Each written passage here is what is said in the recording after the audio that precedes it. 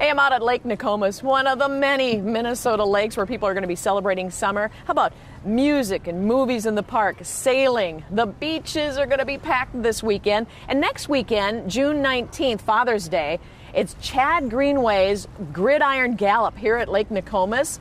Um, it's a 5K and a kid run. Bring dad out with you or run in honor of your father. That's going to be a lot of fun. The Vikings cheerleaders and players will be out here, and it benefits the Minneapolis Park and Recreation. That's next weekend on Father's Day. And White Bear Mitsubishi and KARE 11 have teamed up to celebrate summer with a brand new car. What are you two talking about here? Well, last time we were on this lake, he caught a fish this big. Really?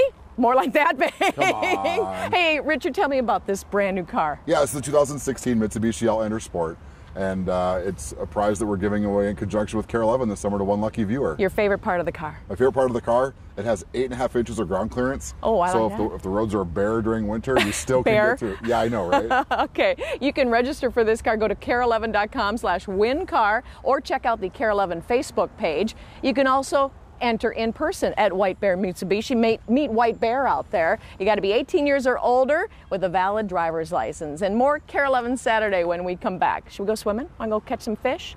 Okay, let's go.